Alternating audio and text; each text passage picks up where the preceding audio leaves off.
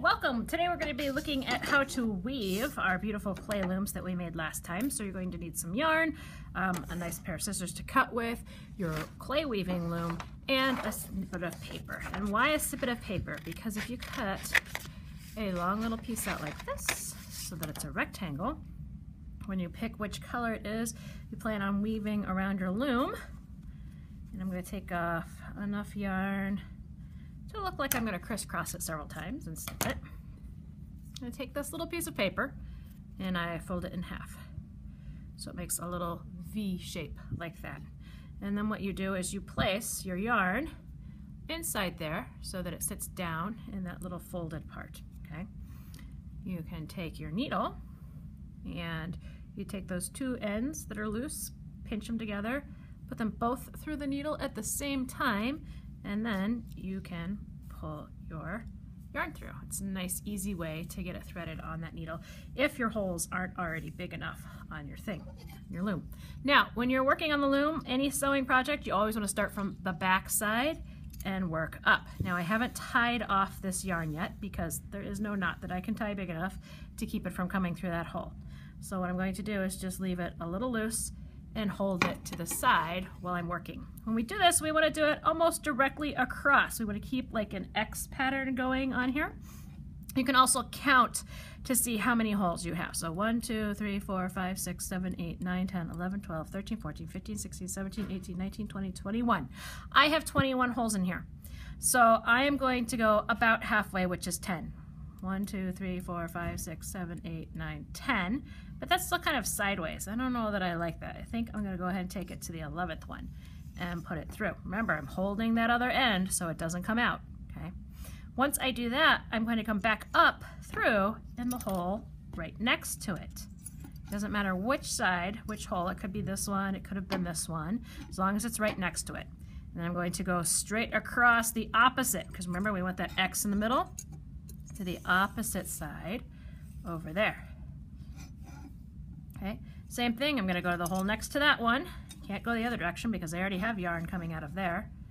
And I'm pulling it kind of tight and I'm holding it on the back side with my fingers each time.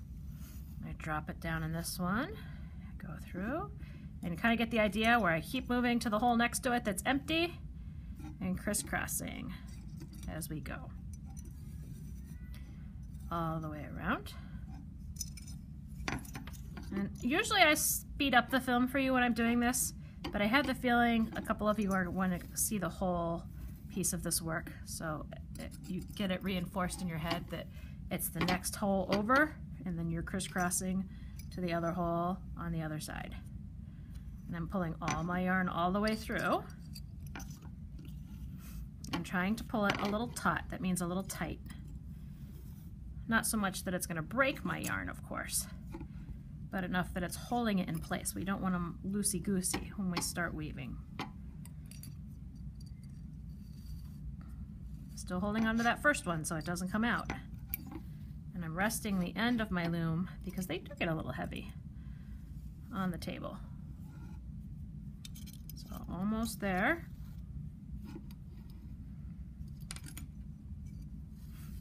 And now you'll see I come to my final hole and then back to the original hole. Oops, I don't want it to get looped the wrong way. Back to the original hole that's over here. Then I can snip this. And I have these two, and I can tie them off because they are not the same yarn that close to each other. Like that. And then you're going to have the basis for the starting of your weaving to work your way out. Let's work on that first and then come back and talk about weaving on the middle. Okay, so to weave this, we're going to do very similar to how we started with our yarn the first time. We're going to put it in that little V-shape piece of paper. Take that, pinch both pieces together, pull it through. And again, not tying off the end.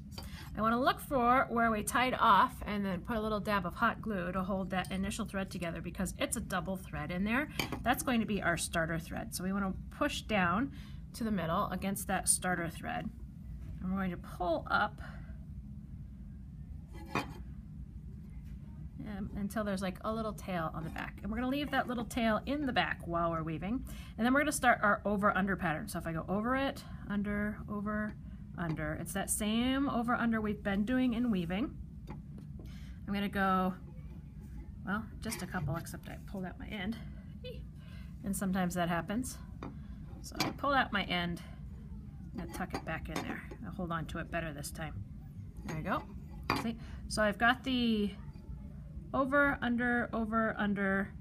I'm going to, I can turn this as I go because it's in a circle, so you'll need to turn it and make sure you're keeping the over, under pattern, which is a little tricky at first when we're working tighter in the middle.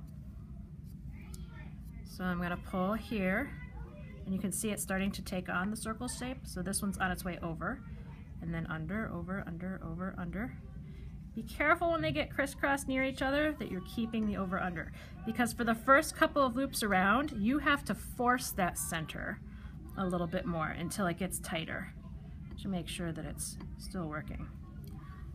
So we're gonna come all the way back around and I'm pulling it kind of gentle right now. I'm holding onto the back to make sure it's tight. Now, see how this is sort of still out? I wanna tighten that up a little, so I'm just gonna tug.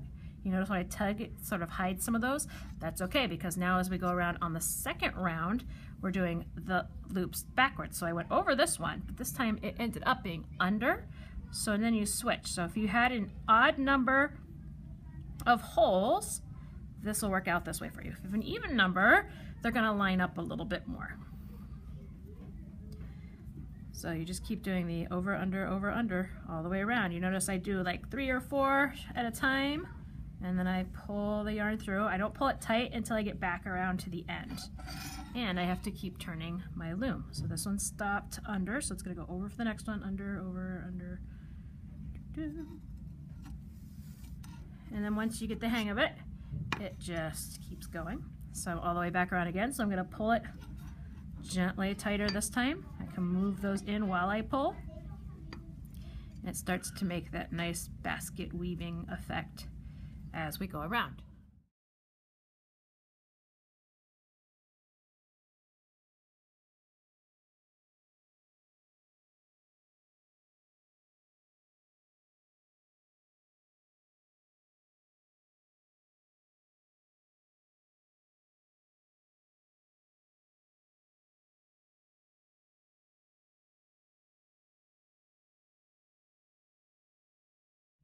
Okay, so if you want to change colors any place along the line, you can snip that yarn short and then you can select another color and pull some off just like we did before. Maybe about, you know, three feet worth if you want to measure it, you can. We have yardsticks over in the drawing center.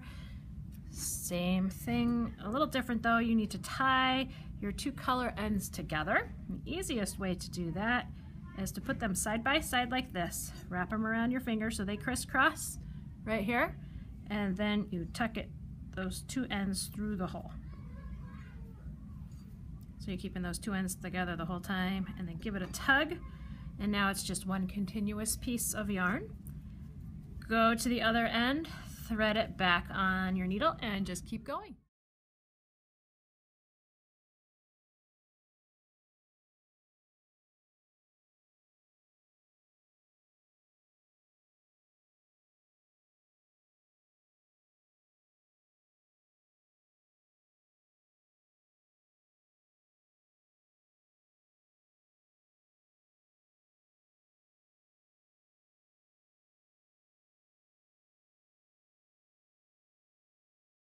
Okay, once I get to a point where I want to be finished with my weaving and I want to tie it off, I'm going to send it to the back side. I'm going to find that one that I left looped from the beginning of my weaving. Remember we left that one loose and I'm going to gently pull it just in a regular tie and then just do another regular tie. Make sure it stays kind of taut or tight, just like that. Snip off my extras and then where I switched my colors earlier, I can snip off those extras and then I have a beautifully woven ceramic piece.